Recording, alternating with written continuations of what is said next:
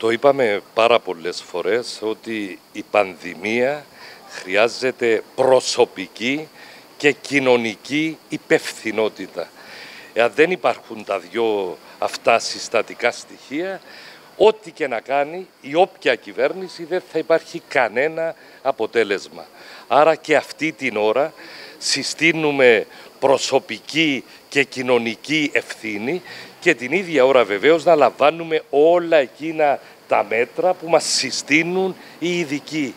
Έχουμε απέναντι μας έναν αόρατον όπως έχει αποκληθεί εχθρό, τον οποίο μόνο να λειτουργήσουμε υπεύθυνα και συλλογικά θα φέρουμε τα αποτελέσματα που θέλουμε και για τον τόπο μας και για τον κόσμο ολοκλήρως. Έχουμε δύο τόσο προσωπικές ανευθυνότητες. Σκέφτεστε καθόλου να προχωρήσετε κάποιο μέτρο για ποινικοποίηση των ανευθυνότητων αυτών; Η Βουλή πρέπει να σας υπενθυμίσω ότι έχει ψηφίσει πολύ πρόσφατα αυστηρότατες νομοθεσίες για όσους παραβαίνουν τα διατάγματα. Η Υπουργός Δικαιοσύνης έχει μόλις χθες δηλώσει ότι όλοι οι παραβάτες θα καταγγέλλονται. Δεν μπορεί και δεν είναι δυνατόν έναν ή δύο πρόσωπα να καταστρέψουν το κοινωνικό σύνολο. Δεν θα τους το επιτρέψουν. Κύριε Τορναρίτη, στον κυκλώνα της πανδημίας είναι και η παγκόσμια οικονομία. Η οικονομία της Κύπρου μπορεί να αντέξει ένα ενδεχόμενο νέο lockdown. Ε, θα πω ότι η κυβέρνηση έπραξε ό,τι ήταν δυνατόν.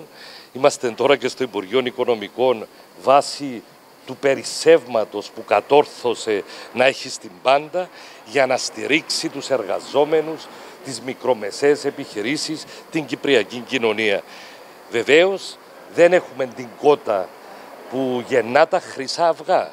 Εάν και εφόσον με τις πράξεις και τις παραλήψεις μας οδηγήσουμε τα πράγματα σε έναν τέτοιο αρνητικό σημείο, τότε δεν έχω την όποια απάντηση να σας δώσω. Γι' αυτόν ακριβώς τον λόγο, επειδή το θέμα της πανδημίας έχει άμεση σχέση και με την υγεία μας και με την οικονομία μας, ας λάβουμε όλα εκείνα τα μέτρα ευθύνης που πρέπει να λάβουμε για να μην οδηγηθούμε στα άκρα.